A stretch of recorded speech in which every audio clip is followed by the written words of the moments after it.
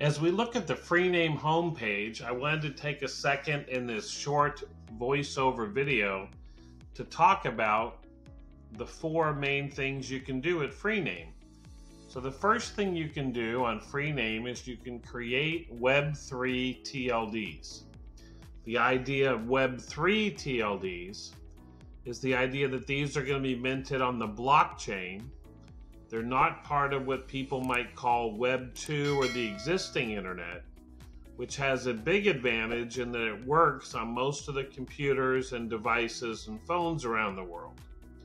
Web 3 domain names are new domain systems that will work on various blockchain networks, some alternative browsers, and other uses, many of which haven't been developed yet. But on Freename, you can create, mint, and own your favorite Web3 TLD to the extent that there's only about 2,000 top level domains in the existing internet.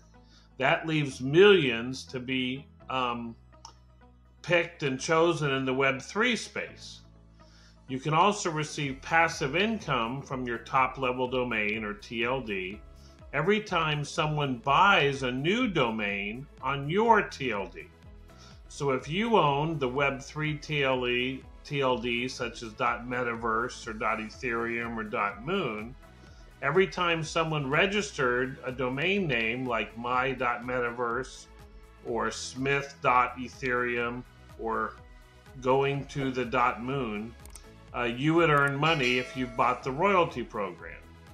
You don't have any renewal fees on your top level domain name you become a Web3 registrar yourself, meaning you can send people to the Freename system, tell them about the top level domain name that you have and that they should be buying domain names in, and then also do other marketing and other show them other benefits.